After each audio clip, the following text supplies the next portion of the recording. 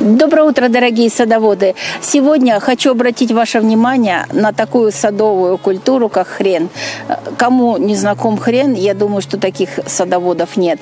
Но сколько садоводов, которые ищут вопрос, как уничтожить хрен.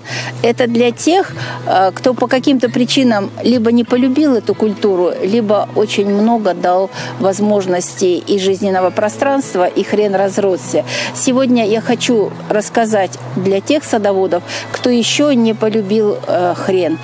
Хрен на Руси был первым овощем, первым растением, которое было жизненно необходимым. Вот эти корневища пойдут на заготовку. Если вы хрен приготовили для того, чтобы получить из него закуску острую, очень вкусную, помните такой момент. Если вы перемололи хрен или на терке потерли, или на мясорубке, но сразу его не закрыли, эфирные масла улетучиваются, и кроме горечи ничего не остается.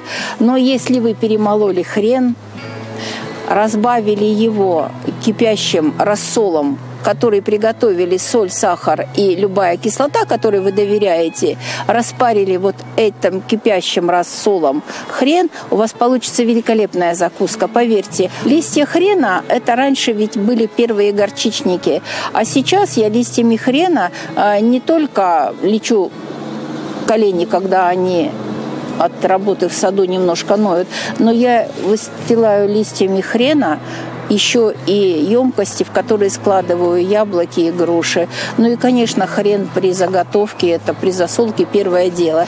И напоследок такой рецепт. Сейчас очень много свеклы.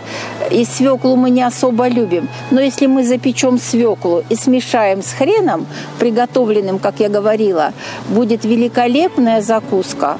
Закуска в плане салата, а не в плане закуски. Удачи вам!